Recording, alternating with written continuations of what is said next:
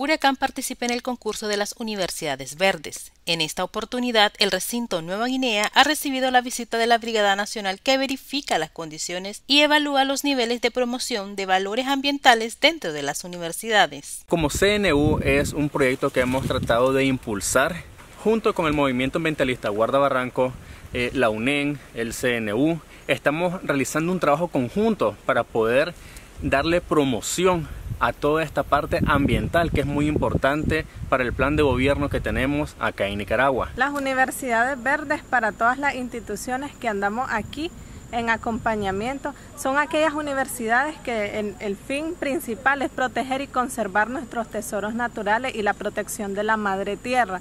Cada una de las universidades que hemos visitado, incluyendo la de ustedes, Huracán, ha demostrado que la madre naturaleza es muy importante y es un tesoro que como nación prevalece en nuestro país. Y esa es la lucha de todos los días, que cada uno de nosotros podamos tener una buena educación ambiental para que podamos con nuestras acciones proteger el medio ambiente y los recursos naturales. Los espacios valorados durante el proceso corresponde a la validación de jardines de cactus, criaderos de peces, creación de arboretum e instalaciones de huertos medicinales, donde además se apreció el valor agregado de este proceso de convivencia y armonización de la madre tierra. Eh, nosotros como UNEN Huracán Nueva Guinea hemos estado aportando con los estudiantes eh, en realizar sobre las universidades verdes, trabajar en coordinación con todas las áreas de las instituciones y con la área de bienestar estudiantil. Hemos tenido un proceso trabajando en diferentes tipos de, árboles que tenemos, tanto medicinales, de fruta, que eso viene parte de las universidades verdes, que estamos trabajando fuertemente, que son los compañeros del CNU, eh, de Marena y de otras instituciones que los acompañan en nuestro recinto.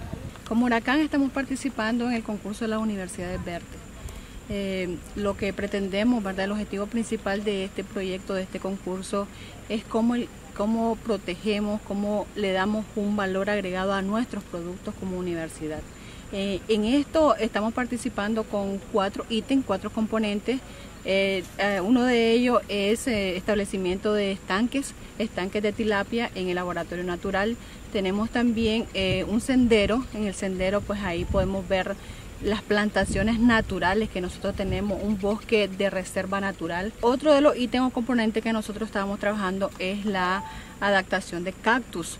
Ya sabemos que nosotros tenemos este clima tropical húmedo, entonces eh, nosotros tenemos muchas muchas perspectivas en sembrar cactus en nuestra universidad.